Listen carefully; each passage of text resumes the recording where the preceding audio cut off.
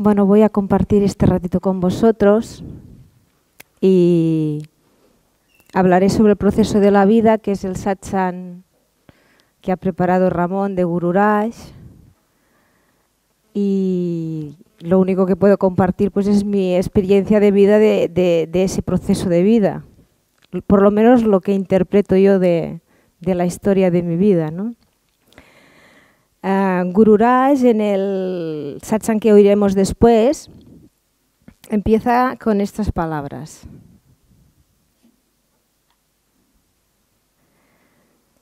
Dice, el proceso de la vida, cuanto más unido estéis con vosotros mismos, pues con el reino de los cielos en el interior, más fácil será el proceso y más feliz serás.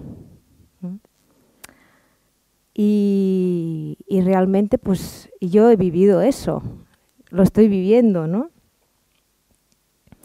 Cada uno, supongo, lo vive en, en diferentes escalas, porque te habla de, diferente, de diferentes conciencias, ¿no? de diferentes percepciones según aumente la conciencia. Y entonces, pues, em, también te dice que em, es difícil poner palabras y, que es igual la palabra que utilices mm, con cualquier idioma, que se puede llegar a entender cualquier palabra, porque lo que importa es lo, que empuja esa palabra. ¿no? Y yo he, pintado estos cuadros y mm, es lo que hay detrás de esos cuadros, porque es como cada uno interpretará lo que interprete, se han pintado, es decir, eh, cuando pinto esto, mi sensación es que yo no lo estoy haciendo. ¿eh? es como que se está haciendo solo, porque cuando lo acabo me sorprendo a mí misma. Eso lo, he pintado yo. Entonces es, ahí donde detrás de cualquier expresión que puede ser con la pintura o con la música o con, la comunicación en palabras en diferentes idiomas, ¿no? que es lo que dice Guru en el satsang, ya lo oiréis después, pues mm, se puede llegar a entender porque hay esa, esa conciencia o eso que lo empuja, ¿no? Y que, y que llega igual, aunque sea expresado de diferentes maneras. Y me he dado cuenta que con, con esas pinturas yo lo que he expresado pues es, es mi proceso de vida. Y mm, a mí me cuesta más poner palabras a las cosas, y, pero bueno, voy a mirar de, de hacerlo de la mejor manera, ¿no? para explicar un poquito cómo ha sido mi historia de vida. Es decir, tomárosla como un cuento, ¿no? porque es mi cuento y es, y es, es, muy, es mi, mi, particular historia y, la podéis a lo mejor comparar, ¿no? qué hace la mente o analizar, pero es como yo lo he vivido, ni, ni bien ni mal, ¿no? y cómo he llegado al primer paso, se puede decir, ¿no? al primer escalón, ¿no? a, darme cuenta del corazón. Mm, para entender un poquito, pues yo os voy a explicar un poquito mi vida, ¿eh? que lo tomároslo como un cuento. Em, aterricé, pues, cuando nací, ¿no? Cuando, pues, aterricé en una familia pobre que venía pues habían vivido mis padres un final de una guerra y vivieron una posguerra con mucha hambre. Y cuando aterricé ahí en esta familia, pues em, primero que ya me empujaron a nacer. Ya no, se ve que eligieron ellos el momento más que yo misma, ¿no? y llegué pues en un territorio desconocido un poquito como asustada. Pero bueno, ahí en esta familia, y tengo que entender a mis padres, ¿no? porque entiendes todos los, patrones de ahí familiares que hay, pues como eran agricultores y habían pasado mucha hambre y para ellos lo, importante era la tierra, tener una tierra, tierra propia, porque si tienes tierra no te mueres de hambre. Entonces, claro, su lucha era pues eh, la seguridad estaba en tener tierra. Y entonces yo crecí en medio de esa familia donde se valoraba mucho el tener y se valoraba mucho eh, el trabajo. Eh, es decir, que si eras competente, si eres productivo, si trabajabas mucho, el esfuerzo, el sudor, pues eh, eso era lo principal, se puede decir, basada en la supervivencia, pero eso es lo que yo, mm, pues, mamé, heredé eso, ¿no? al crecer en esta familia. Claro, yo no, em, para mí, em, esta niñita que crecía ahí, pues mi madre me decía, es que como olías mucho a leche iban las hormigas, se me comían las hormigas, porque claro, ella tenía que trabajar y cuidarme.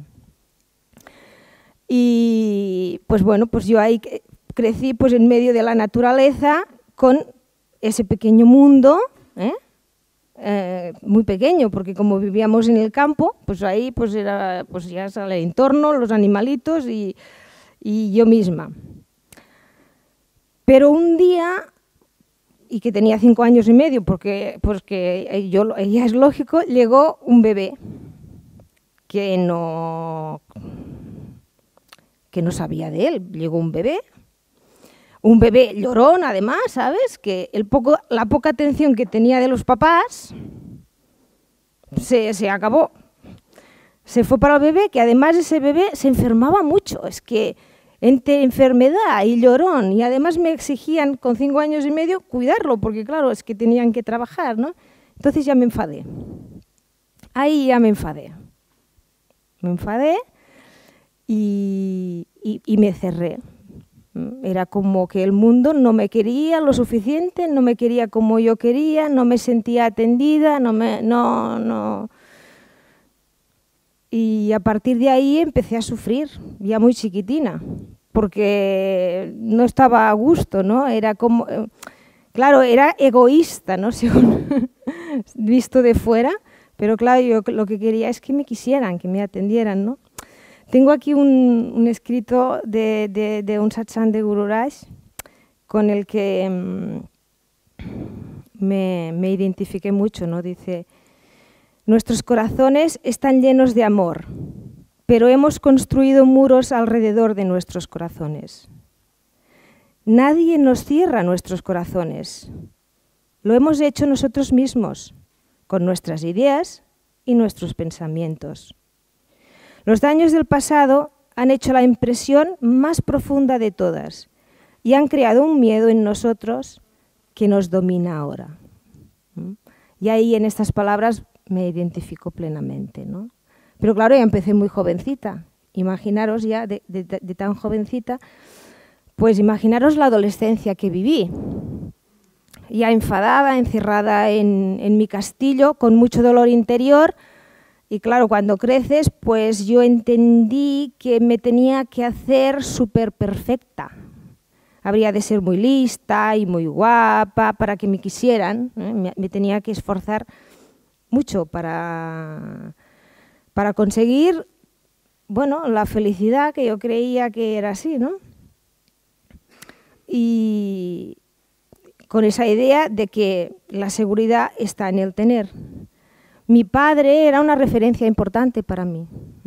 Mi padre era, era, un caballero de, fuerte. Mis padres han sido siempre personas muy vitales, muy fuertes, muy trabajadoras. Era una referencia para mí, ¿no?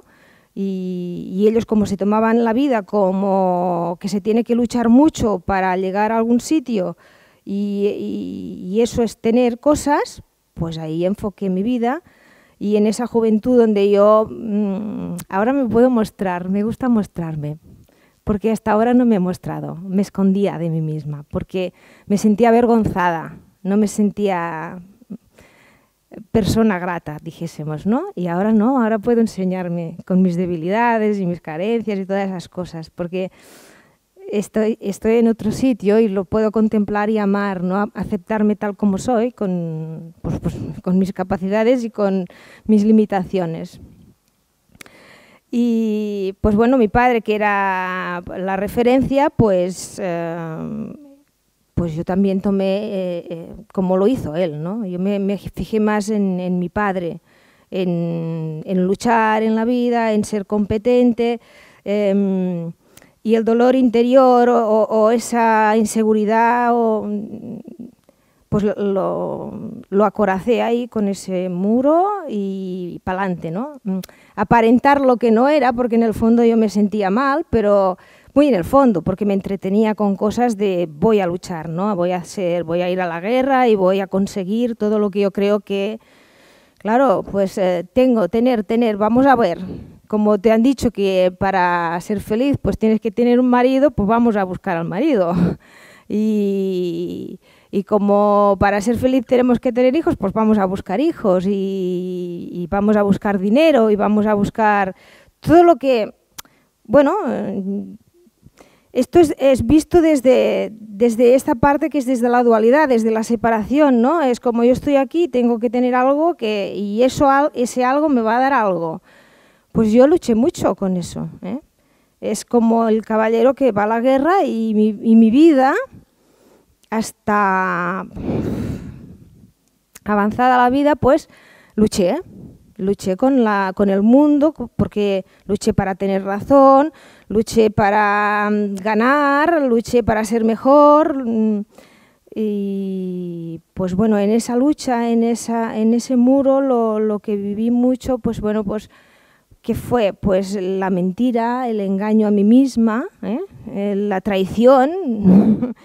el juicio, ¿no? El, culpar a todo el mundo, porque yo estaba ahí como no sintiendo nada. ¿eh? El muro te hace insensible, se puede decir.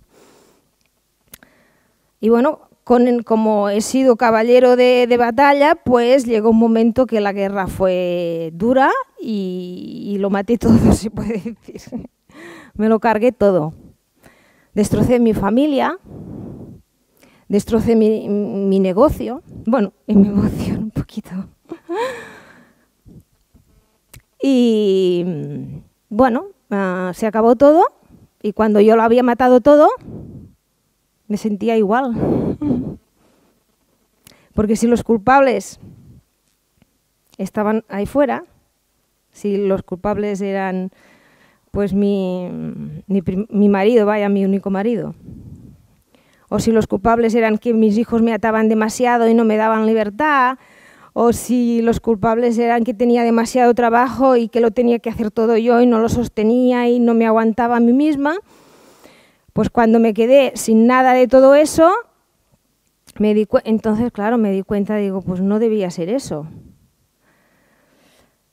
Y ahí empezó pues otro resurgir, otro resurgir. También utilizo un, un cuento que explica Gururaj muy bien, porque cuando estaba ahí en, esas cenizas, ¿eh? Eh, ya no había nada más, ¿no? estaba yo con mi dolor y, tan punzante porque es, no se soporta. ¿eh? Bueno, yo me sentía tan culpable o tan mala o tan lo que sea y ya no había nadie más a quien culpar eh, pues que empecé a buscar, realmente empecé a buscar ahí. Y Gururaj lo explica en un cuento muy, muy, muy bien explicado. Explica que hay um, en un barco había un pajarillo eh, agarrado al mástil. Y, y el barco iba a su ritmo y el pajarillo tenía ganas de, de encontrar la tierra, de encontrar tierra. Y claro, pues el pajarillo decidió pensando con eso, pues bueno, si vuelo a lo mejor hacia el norte, pues voy a encontrar eso que te parece que, tienes que encontrar, ¿no? Y bueno, soltó el mástil y, y se fue para el norte. Pero llegó un momento que no encontraba tierra y no tuvo más remedio que pues regresar al mástil. Claro, ahí el mástil eh, es que es, sostener todo eso que te está pasando. ¿eh? Es que como necesitas como escaparte de todo eso, pues dices, bueno, voy a probar hacia el sur, a lo mejor eh, en esa otra ruta, pues encontraré algo y, se fue para el sur. pero llegó un momento que ya no podía sostenerse y tuvo que regresar al barco. Pero ahí aún es que cuidarse de uno mismo cuesta, ¿eh? No, no os creáis, porque es más fácil cuidarse de los otros que de uno mismo. Y aún insistes ahí, dices, bueno, pues iré al este, a ver si en el, al este encuentro algo. Y, y, siempre pasa lo mismo, hasta que llega un momento que, pues, que el pajarillo dijo, pues bueno, me voy a quedar aquí al mástil, que algún día el barco llegará a tierra, ¿no? Y un poquito pues ha sido así, ¿no? Esta referencia me ha pasado a mí, porque cuando estaba tan mal conmigo mismo, pues em, no me quedó más que buscar. Y busqué, busqué, busqué mucho, busqué, busqué en todas partes. Fui a la India, me, me, hice terapia de no sé qué, estudió no sé cuántos, es decir, he dado más, más vueltas, he conocido mundo, ¿eh? he conocido mundo. Pero siempre he tenido que regresar a casa. Siempre he tenido que regresar a casa. Y ahí es donde, eh, pues un día, pues no sé cuándo, pero sucedió, ¿no?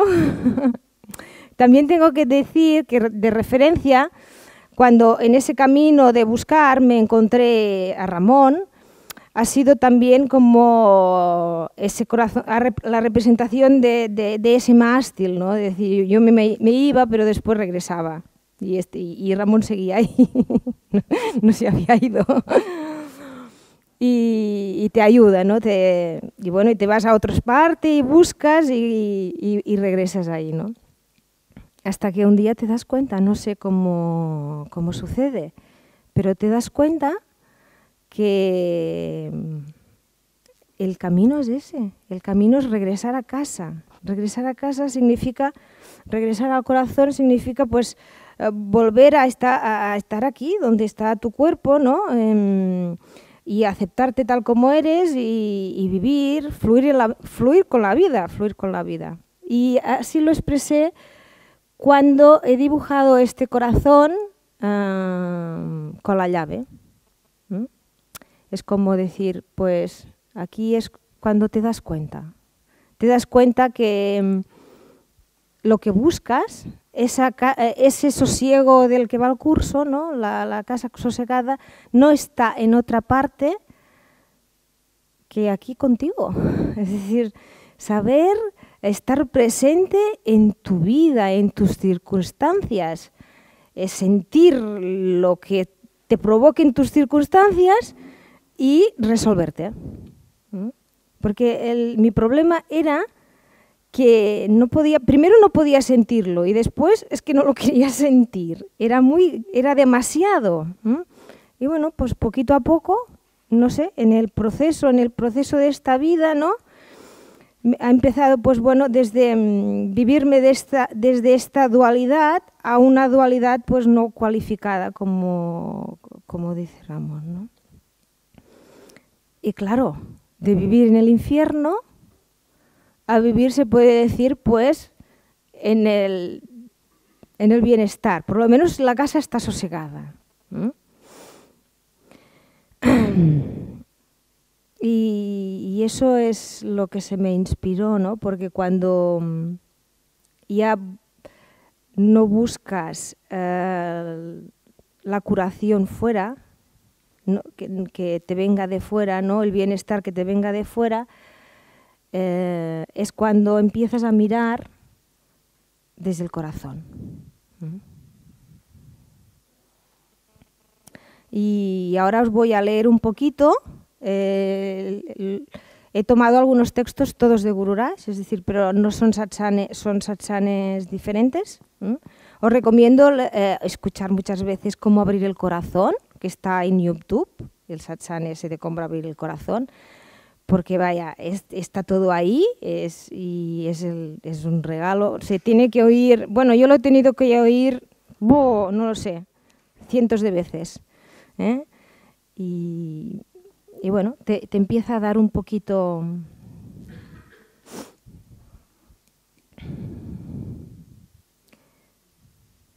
El desplegar del corazón hecho como una trilogía en los cuadros.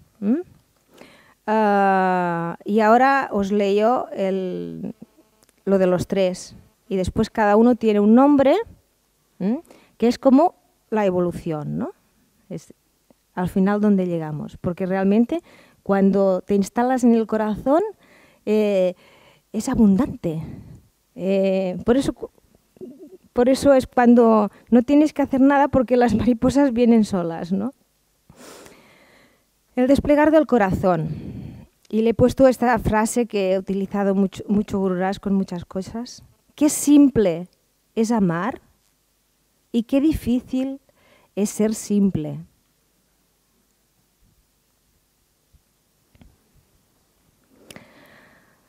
Con el corazón no quiero decir el órgano físico, sino eso que es sinónimo de la pura entidad espiritual dentro del hombre. Cogí esta frase porque cuando yo he dibujado los corazones, que los corazones sí que los he copiado de un corazón, lo demás lo, he inventado, es decir, el ojo me lo, puse ahí, pero corazón es tal como es en realidad el corazón. ¿eh? Pero claro, cuando lo dibujaba, que, era la expresión de ese corazón que no es el corazón físico, pero que se puede representar en el físico. ¿eh? pero es de esa entidad espiritual. Con el corazón no quiero decir el órgano físico, sino eso que es sinónimo de la pura entidad espiritual dentro del hombre. El centro de la personalidad humana es lo que llamamos el corazón, la suma total de todos tus sentimientos y emociones, no solo los que se sienten en la mente, porque confundimos mucho la emoción, el sentimiento de los pensamientos con el corazón y no tiene nada que ver. El corazón es una cualidad o una forma de existencia que podría existir sin la mente, sin el sentimiento, sin la emoción y sin el proceso de sentimiento. Es, decir, que el corazón, el amor, esto que represento aquí, es lo que, es lo que, lo que lo sostiene todo, sostiene todo. Si lo, si lo limpias, es decir, si, si te paras un momento a sentir esa emoción y a darte cuenta del pensamiento y lo vas, te vas permitiendo sentir, lo que vas a sentir al final de todo es el corazón, es el amor. Detrás de todo está ahí. Los sentimientos no deben ser medidos en los términos de las emociones de cada uno, porque las emociones pueden ser positivas o negativas, pero la radiación del corazón es por siempre pura, es decir, no, eso que ahora te amo, ahora no te amo. yo digo, la prueba del algodón es si sufres, es que no amas. Hay algo que ahí no ves claro. Así que, porque el corazón lo abraza todo. El corazón está por siempre irradiando una energía, una fuerza. Tiene una cualidad universal. Por eso un hombre bueno se le llama un hombre de gran corazón pocos nos damos cuenta de qué grande es esa grandeza. Su extensión es la totalidad del universo. Y no nos damos cuenta porque tenemos ese muro que no nos hace darnos cuenta. No nos damos cuenta si hay un corazón si no vivimos en el corazón. Solo podemos ver el corazón del otro cuando veo mi corazón, pero si yo tengo mi corazón amurallado, difícilmente ver el corazón del otro. Y hay veces que hasta me enfadaré con el otro. En las escrituras encontramos que dicen que el corazón de Jesús sangró por nosotros. ¿Qué sangró? ¿Qué salió hacia adelante? El flujo pulsante de la sangre. Y cuando hablamos de la sangre, hablamos de la sangre de la vida, sangre de la vida que viene del corazón, potenciando y generando la fuerza del corazón que es universal. Y eso es, el cachito de satsang que he cogido para la trilogía que yo cuando hice eso pensé en, en, los tres. ¿no? Y continuamos, pues ahora yo eh, os leeré el, el, texto que he preparado para el primer cuadro, para eh, ese darse cuenta. ¿no? Ahí es cuando vives en la dualidad y desde la dualidad te das cuenta que hay otra manera de vivir, que es la elección esa, ¿no? de vivir desde la conciencia, de vivir desde el corazón. ¿eh? es la llave, la única llave que, que, que, que, nos, llevará a vivir una vida en, en, plenitud, con la casa sosegada que decimos, ¿no? Y el primer cuadro lo he, le he puesto el nombre de El amor es la llave para trascender la mente, que es el Bhakti Yoga, es el yoga más fácil. Pero cada uno también pues, puede utilizar el que le sea más a mano, porque todos en el, en el fondo te llevan al mismo sitio. El amor universal surge del nivel supraconsciente. ¿Os acordáis que Ramón ayer hizo el dibujito ese de la mente? Ese cono, ¿os acordáis? ¿Eh? Pues desde el nivel supraconsciente, ese de ahí, ¿no? Desde el ser espiritual, que podríamos llamar corazón. Este amor no puede ser definido, solo experimentado. Pero bueno, nosotros lo definimos de muchas maneras ¿eh? para que se pueda captar, ¿no? El verdadero amor, la dicha, brota desde dentro y desborda sin cesar, tocando todo igualmente e inequívocamente. No, el, el amor no, selecciona, no separa, no, rechaza. Eh, eh, es que pasa solo, no, no tienes que hacer muchas cosas. El, corazón ama, realmente ama. No porque el corazón quiera amar, sino porque es la naturaleza del corazón amar. Lanzar hacia adelante ese amor y nos engañamos cuando pensamos que amamos. Porque en el momento que piensas que amas, has dejado de amar. Porque claro, o corazón o el pensamiento. El amor simplemente es. Solamente lo alcanzas. No necesitas aprenderlo. Está ahí todo el tiempo. Trasciende la mente, la emoción. Su fuerza puede penetrar toda individualidad y separación y llevarnos a ese estado donde el amante, el amado y el amor se mezclan en una unidad. Así que ya se vais. Es elección, elección de ir al corazón, ir más allá de la mente, porque la mente está tan llena de cosas que es muy difícil aquietarla. ¿Mm? Pero sí que podemos ir al corazón sin utilizar la mente. Fijaros, ¿eh? ¿dónde está el secreto? Y Guru nos lo está diciendo en todos los satsanes de diferente manera y es curioso que no te das cuenta hasta que, hasta que te das cuenta. El segundo cuadro eh, lo he titulado Mirar en cambio de ver. ¿Mm? Claro, le he puesto un ojo al corazón porque realmente es la discriminación, es la percepción, porque ya no es la interpretación de la mente, sino es el vivir en ese amor, en ese, eh, ese sentir. Y claro, y aquí Guru te, te, está diciendo qué es mirar y qué es ver. Normalmente estamos acostumbrados a ver, no a mirar. Ver es enfocar un objeto determinado. Cuando enfocas un objeto determinado, la mente empieza a analizarlo y estás perdido. Cuando miras en la totalidad solo mirando, sin permitir que la mente interfiera en la mirada, entonces ves la verdad. Un poquito eso es la contemplación, ¿no? El contemplar una, una idea, ¿no? Ah, una cosa es ver y lo analizas y la otra ya es ir más allá del ver, que es lo que es más allá de ver el cuadro, sino de mirarlo. Al solamente mirar, evitas la mente consciente e inconsciente y miras con inocencia. Cuando no ves con inocencia, lo haces con un determinado enfoque de una mente modelada. Y entonces ves no lo que es, sino tu interpretación de lo que ves, con tu mente modelada, porque todas las mentes están modeladas, así que está claro. La comunicación está en el reino de la mente y la comunión está en el reino del corazón. No hay separación en el yo interno. Vive la vida de la divinidad, que es sinceridad total. No la que te conjura la mente para hacerte pensar que tú eres tú, porque tú no eres tú. Tú eres Dios encarnado en carne humana y sangre. Y aquí he puesto la, frase final ¿no? que dice, Dios más la mente hacen al hombre. El hombre menos la mente hacen a Dios. ¿Mm?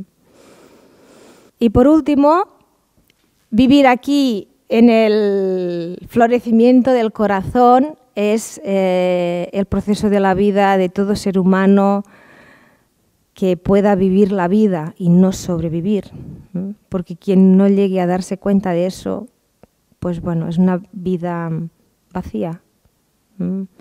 Morirá anhelando eso que siempre ha estado ahí y que no se ha dado cuenta.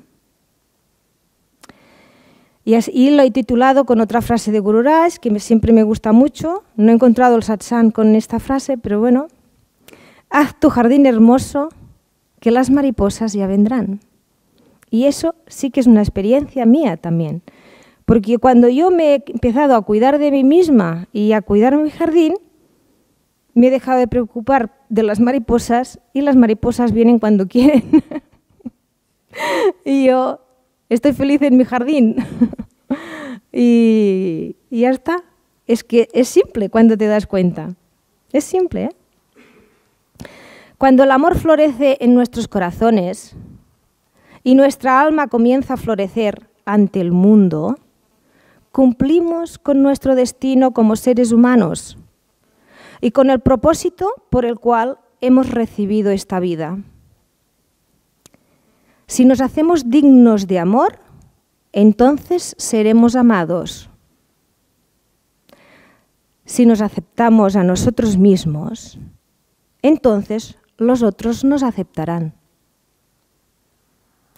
Cuando nos convertimos en nosotros mismos, encontramos que los demás son atraídos naturalmente hacia nosotros, porque su ser interno reconoce la chispa divina que ha sido vitalizada dentro de nosotros. Amar por el bien de amar espontáneamente trae el amor de otros, porque la fuerza del amor despierta esa fuerza en todo lo que toca. ¿Mm? Y todas estas palabras son de Guru Rajananda. Y eh, es mi proceso de vida, se me ha plasmado ahí en esos cuadros que han surgido no sé de dónde, pero se han hecho. Y, y eso es lo que he querido compartir con vosotros. Ahora, si Ramón pone el satsang de Gururaj, Gururaj habla de la dualidad, de la dualidad no... ¿Cómo es? de la, no dualidad no me acuerdo, cualificada y después habla del monismo. Pone una oración que fijaros en, el, en, la dualidad, pone una, el ejemplo de el niño pequeño, ¿no? porque es como cuando empezamos a orar que en esa dualidad, como nos vivimos separados de Dios, utilizamos la oración para decir, por favor, protégeme, por favor, ayúdame, por favor, dame. Es como el niño pequeño, ¿no? Y tiene el libro de oraciones que lea una oración como pidiendo, ¿no? Pero dice, después ya viene la, dualidad no cualificada, ¿no? Pues porque ya, ya te vives como un tronco, y que es un tronco con muchas ramas y muchas hojas, y tú eres una hoja y reconoces esta interdependencia entre, entre todo, ¿no? Y bueno, y después ya se llega al monismo que yo ahí no sé si, si he tenido ni la experiencia, ¿no? Pero, pero vaya, estando ahí siendo parte de un todo, ya me siento mucho mejor. Gracias.